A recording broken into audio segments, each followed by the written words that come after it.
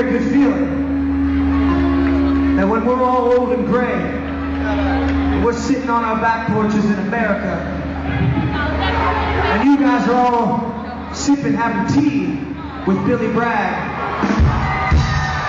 I have a feeling that uh, we're going to look back at this time right here, right now, as one of those special moments.